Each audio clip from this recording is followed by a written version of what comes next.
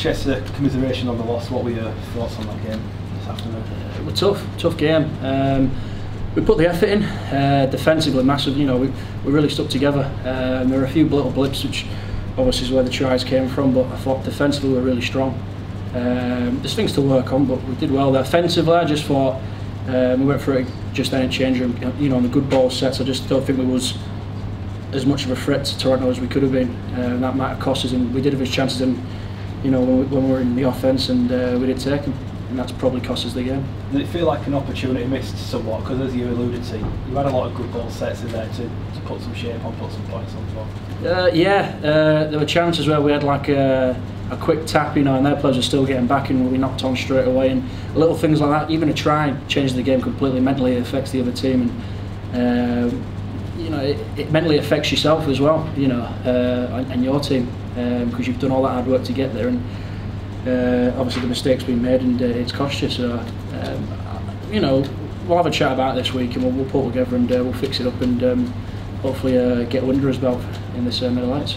All that said, do you think that you've proven to anyone who might have had doubts over your legitimacy in this competition that you're not here to make up the numbers, you're not going to be the whipping boys this year? Yeah, I mean, I spoke to I spoke to quite a few people, friends, uh, strangers in the streets, and they're all saying, "Oh, you're going to get you know smashed by Toronto this week. You know, they're the next big thing." Blah blah blah. And I think we came out first half and and shut them up straight away, especially in second half as well. I think it was one try a piece at first half and second half. So. And to be fair, you know, they were just rule up mistakes in defence. Um, I think we've got a long way to go um, in this middle eight, so I think we can get a few wins and potentially cause some upsets.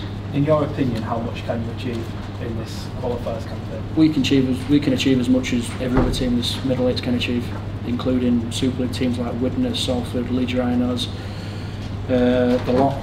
Um, I think we've, I think we've got what every other team in this middle eight has got, um, and on top of that, we've got a bit of spirit too.